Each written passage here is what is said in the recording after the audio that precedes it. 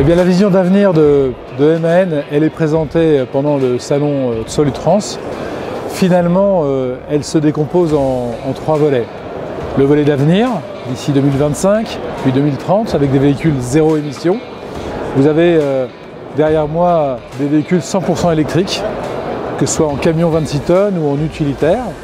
Et ces véhicules, progressivement, vont devenir une référence dans les marchés de distribution et puis euh, également dans les marchés interrégionaux au fur et à mesure que l'autonomie de ces véhicules va permettre d'assurer les kilométrages nécessaires avec un point extrêmement important qui est que le TCO, le coût de revient global de ces véhicules, devrait être à l'horizon 2025 équivalent à celui des véhicules diesel.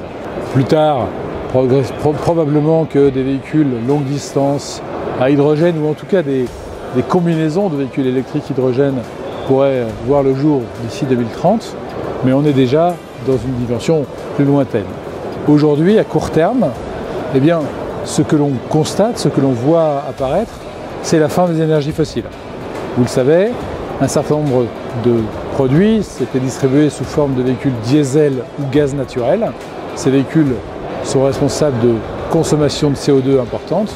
Et ce que l'on voit apparaître désormais, c'est l'émergence de biocarburants de B100, de XTL, qui aujourd'hui permettent d'économiser entre 65 et 90% d'émissions de CO2.